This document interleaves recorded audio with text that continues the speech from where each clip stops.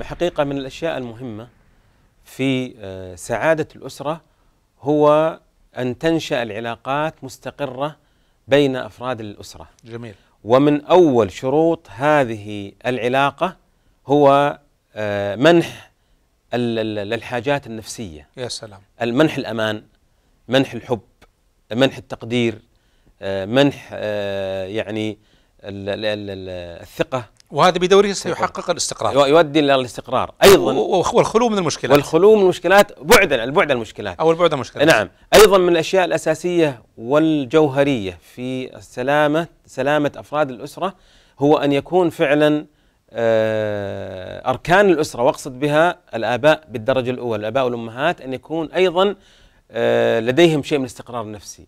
لأن استقرار الأم النفسي يتبعه استقرار الأبناء والبنات.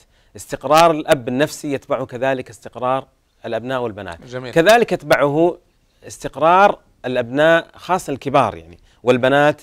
هذا ينعكس الذين يمارسون دور قريب من دور الوالدين. أيوه احسنت